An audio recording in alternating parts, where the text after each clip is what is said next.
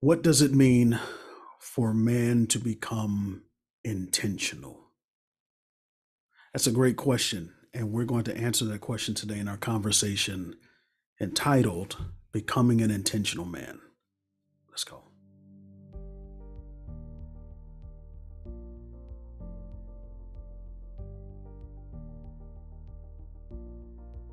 Well, listen, we're about to have a great conversation um, about one of my favorite topics manhood and all things masculinity. I am on mission to strengthen, empower, equip men to become more emotionally intelligent, more emotionally responsible, more communicative, and more present in their relationships. And a lot of what uh, a lot of what I share, a lot of what I do, it, it at times sounds harsh, but it's really designed to challenge. Today is going to be one of those conversations where I'm going to challenge men. When I say men, I don't mean you men, I mean us men. I'm a part of this conversation. This is going to it's going to speak to me just as much as it speaks to you. Now, fellas, I want you to really lean in here. I'm going to share some things with you today that are going to impact how you show up in the earth and will ultimately impact what you receive from the people around you. What I've discovered, man, is that the change that we're looking for as men, in many cases, it starts with us. It starts with how we show up. It starts with how we present. It starts with how we represent. And so I want to give us some information today that is going to shift our paradigm and cause us to become better men. Ladies, this is for you as well. Uh, if you are married, I really want you listening to this so you'll know how to encourage your husband, how to uh, affirm him, even how to pray for him. And if you're not married, I want you to know how to pray for your future husband and what to look for out of a man who's really submitted and surrendered to God and who's tapped in emotionally. Today's topic is becoming an intentional man. Becoming an intentional man. I want you to go grab something to write with if you have not already. Uh, grab that notebook, grab that journal, grab that pen. By the way, if you've ever uh, watched a video of mine or if you watch anything of mine in the future, uh, please always come prepared to take notes. 99.9% um, of the time, I'm sharing something that I want you to write down. And so if you click on any video of mine, I just want you to treat it as if it's a master class. And I want you coming prepared to take notes. Let's talk right now about becoming an intentional man. Becoming an intentional man. Now, I want to start by defining this word intent. I think it's important for us to know when I'm asking you, when I'm asking myself to become intentional, what does it mean to be intentional? What does that word intent mean? Let's look at it. The word intend, intend means to have in mind as a purpose or a goal. To have in mind as a purpose or a goal. To become an intentional man means that you have some things in mind that you have set as a purpose or a goal. To become intentional means that you have some things in mind that you have set aside that you have established, that you have worked through, that you have now called your purpose or a goal. Uh, to intend or to be intentional means to design for a specified use or future. To design for a specified use or, or future, right? So if something is intended to be, it is intended or it is designed for a specified use or future. And the word intend also means to direct the mind. I intended to do that. I directed my mind to do that. Now, as men, we're going to become intentional men because we're going to have a mind um, as a purpose or a goal. We're going to set some goals, even how we show up for the women in our lives. We're going to set some goals. We're going to be more intentional with how we show up for them. It also means to design for a specified use or future. And so, as intentional men, we're going to design our words, our thoughts, our deeds, our actions for a specified use or future. In other words, we're going to stop letting life live us. We're going to start living life. We're going to stop letting life do us. We're going to start doing life. We're going to become more intentional um, with our present and with our future. We're not just going to uh, wake up every day haphazardly, but we're going to set some goals. We're going to set our intentions and we're going to move forward accordingly. And then, guys, we're going to do this third thing. We're going to direct the mind. In other words, you and I are going to stop letting our mind just run free. We're going to stop letting thoughts that are not conducive to our greatness, thoughts that are not conducive to our future, thoughts that are not conducive to our growth, thoughts that are not conducive to our health. We're going to stop letting those things be manifested and fester in our soul and spirit but we're going to become more directed in our mind, directed in our thinking. By the way, I just want to point a, point something out for you. Uh, the word mind, the word soul, and the word heart are synonymous. When you talk about your mind, you're talking about your soul. When you talk about your soul, you're talking about your heart. And so your mind, heart, and soul are synonymous. They are the same thing. So when we're talking about being more directed in our mind, what we're really talking about is being more directed, more intentional, more focused with our soul, more directed, more intentional, and focused with our heart, which means we are no longer living haphazard lives, right? We're not just we're not just existing, but we're here intentionally and we're here on purpose. The word intent, if we look at the Latin word intentus, that word intentus means to stretch out. It means to lean toward. It means to strain. I want you to hear that. When you are intentional, that Latin word is intentus. It means to stretch out. It means to lean toward. It means to strain. So when I'm becoming intentional with my relationship, what I'm doing is I'm allowing myself to be stretched. I want you to hear this. I'm allowing myself to lean toward a particular purpose. I'm allowing myself to strain a little bit there's an aspect of you, sir, that needs to be stretched in order to become all that God has you to be. Let me put it another way. Um, there are certain types of material that are designed to stretch. Um, if you were to hold the, the pant or the shirt up, uh, just the, the pant or shirt by itself, uh, it doesn't look like much. It won't look like much. Spandex is a prime example. Kind of tight, kind of loose, even kind of small. But the more I fit myself into it, the more it expands. Here's what I need you to hear. As a man, you and I, sir, have to become pliable. We have to become stretchable, even strainable to accommodate the things that are coming into our life. We have to become more uh, pliable, even more stretchable to accommodate things that happen in our relationships. If you are too rigid, if you're too tight, uh, if you if there's no expansion in you you are going to either hurt them break them or hurt yourself and so as men we have to have a mind that is expandable stretchable even strainable it even says here that to be intentional to in the intent that word intent means to lean toward which means we don't we focus our attention. Let me give you a prime example. Um, there are so many men even men who are watching this today who, when the women in your life, whether it's your mother, your sister, your daughter, your wife, your girlfriend, fiance, even a friend, when she is having an emotionally expressive moment, when she's crying, uh, saddened, when she have a, has a long face, what we tend to do is lean out. We tend to fall back. We tend to move away from it because we don't want the emotional cooties to jump off on us. We don't want to deal with those things that have to do with the emotions and deal with the heart. That's why men ghost in relationships. Uh, many of them don't want to deal with the pain and the suffering and the tears of breaking up. And so they would just skirt out without uh, making that very clear that it's over, primarily because we tend to lean out when it comes to the, the matters of the heart or emotions. But what I'm finding here is to be intentional means to lean toward.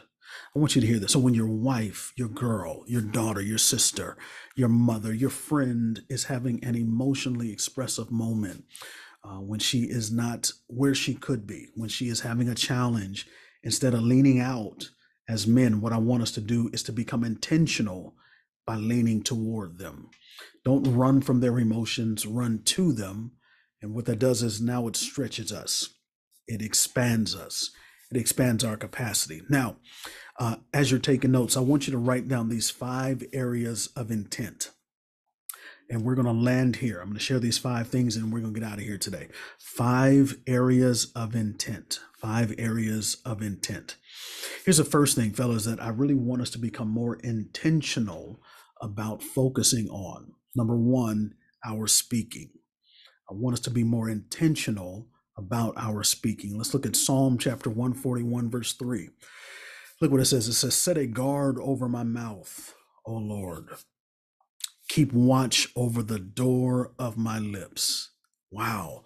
Set a guard over my mouth, O Lord, and keep a watch over the door of my lips. That's Psalm 141, verse 3. And I want you and I to have that same mindset, even the same prayer. Like, God, I want you to put a guard over my mouth. Help me to watch my lips. Help me to control what I say. Because as a king and as a leader, whenever I speak, I am establishing a decree. Fellas, I need you to hear this. When you speak, when I speak, whenever we speak, we are establishing decrees. And so you have to be careful. You have to be mindful of what you talk about. And so we hear we hear we, we hear David asking God, God, put a guard over my mouth. Lord, keep keep a watch over the door of my lips. Here's why. Our words were designed to retrieve a result. They were. I want you to hear that. I want you to hear that and really let that sink in. Your words, sir, your words, ma'am, are designed to retrieve a result. Whenever you speak a word, you are sending those words into the atmosphere to retrieve that result.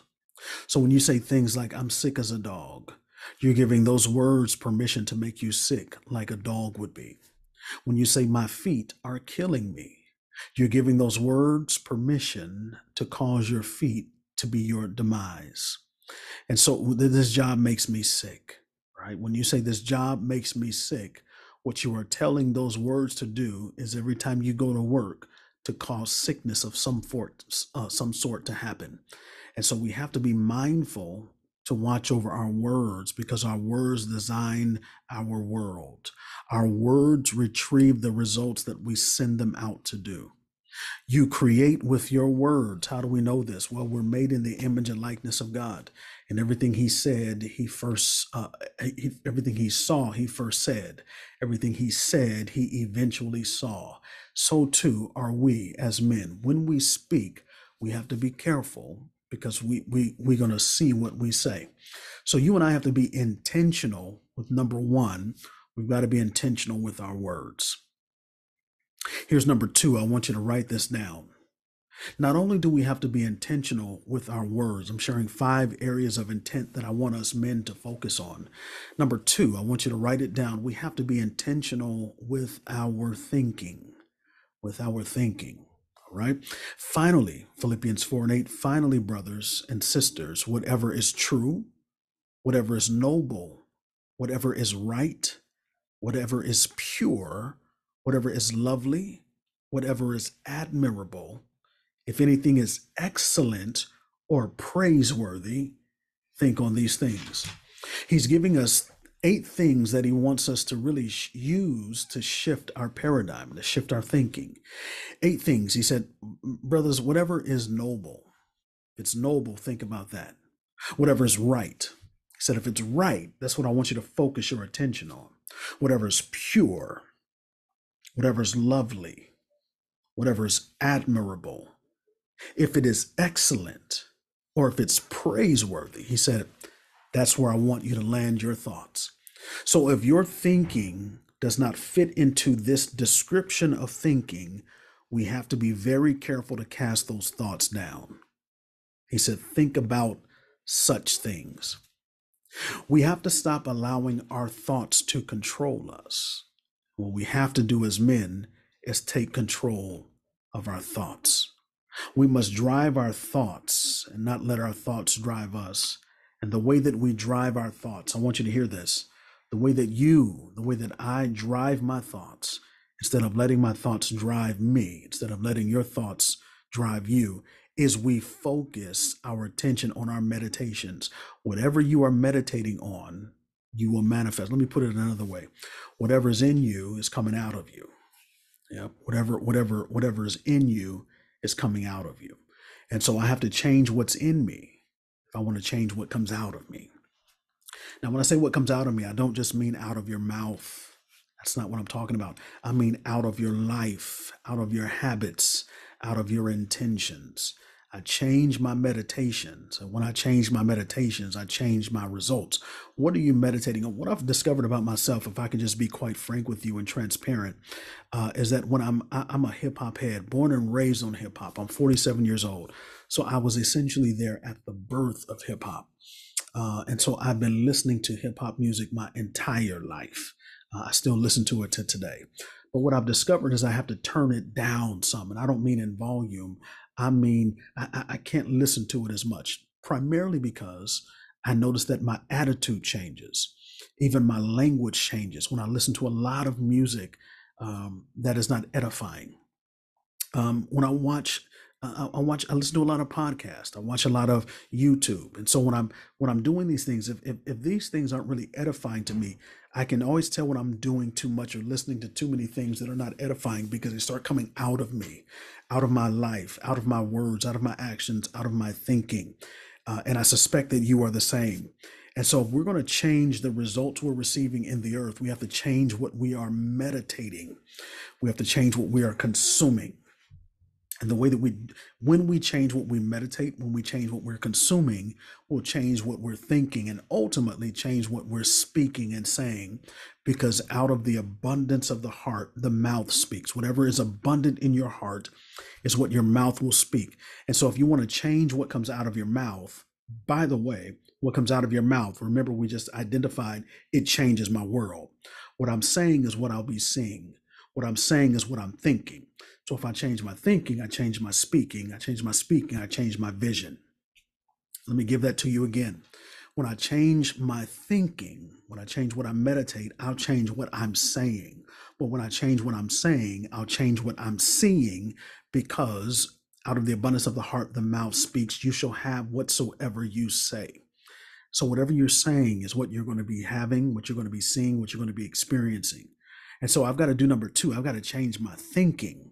I've got to be intentional about my thinking. Um, once I change my thinking, I can change my speaking. When I change my speaking, it's, it's all cyclical. All right. So I have to change my thinking. Again, Paul said, whatever is noble, whatever's true, whatever is right, whatever is pure, whatever is lovely, whatever is admirable. If anything is excellent or praiseworthy, Paul says, man, think on that. Think on that. I want you to focus on that. So, Kings, as you're listening to me, I want you to hear this, man. We have to really be intentional about what we're thinking. By the way, I want you to write this down if you're taking notes. Don't believe everything you think.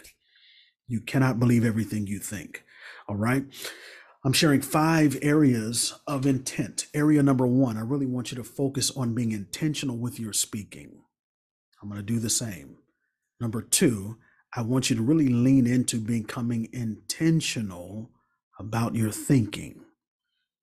I need to do the same. I do. Here's number three. I want you to write this down. Um, well, let me read this scripture first for 1 Corinthians 13 11. It says this When I was a child, I talked like a child, I thought like a child, I reasoned like a child. It goes on to say, When I became a man, put the ways of childhood behind me.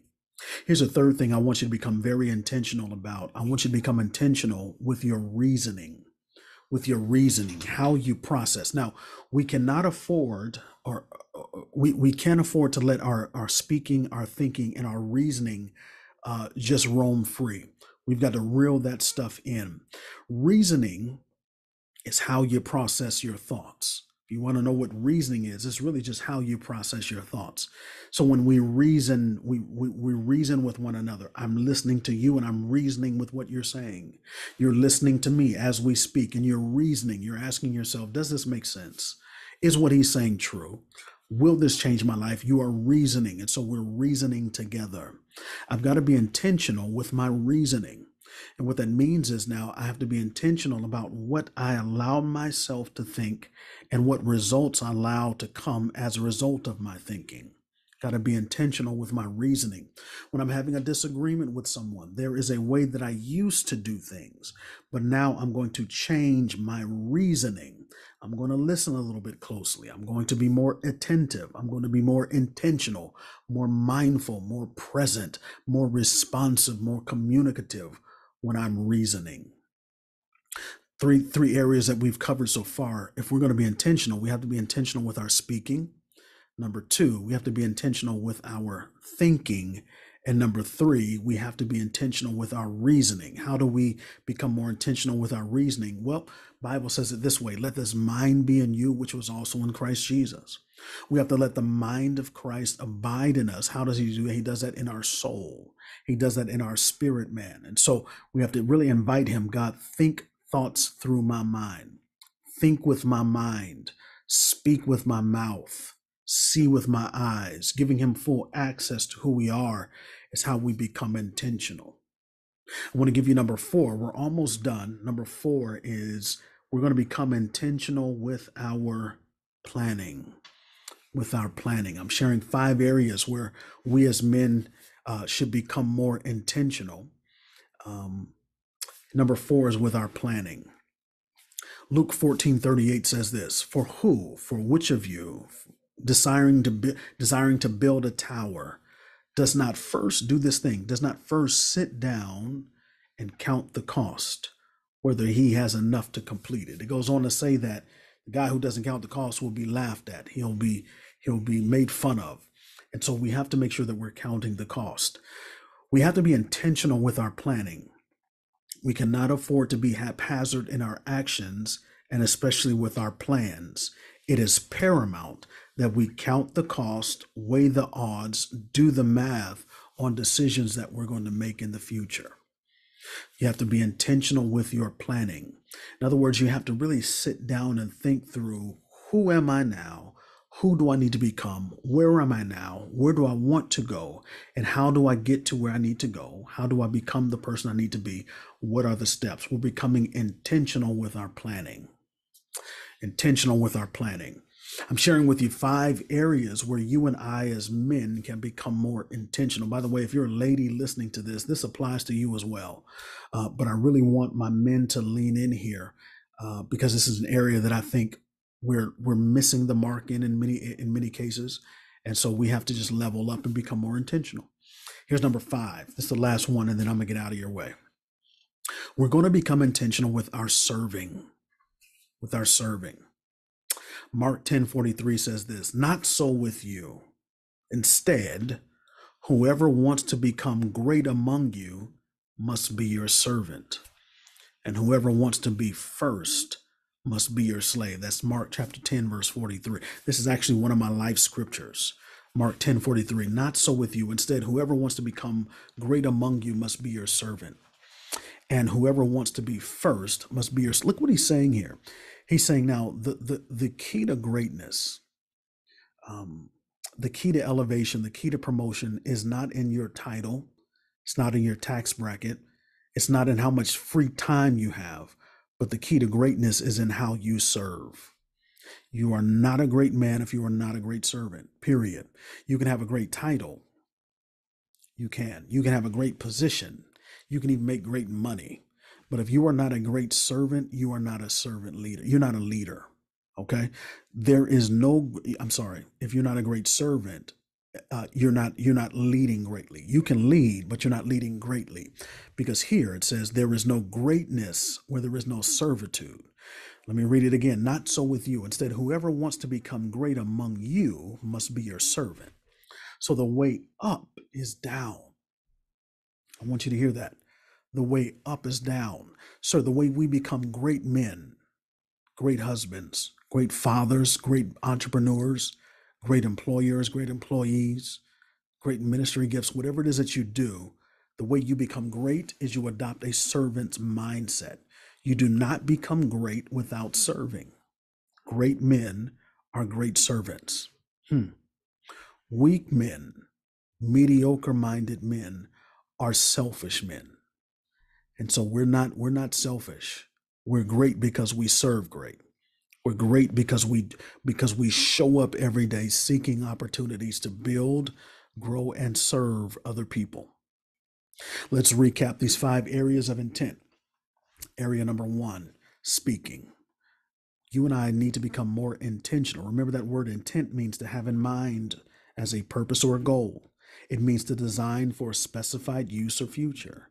It means to direct the mind. In other words, I'm going to really focus on, I'm going to lock in on, I'm going to pay attention to my words, even over the next 30 days.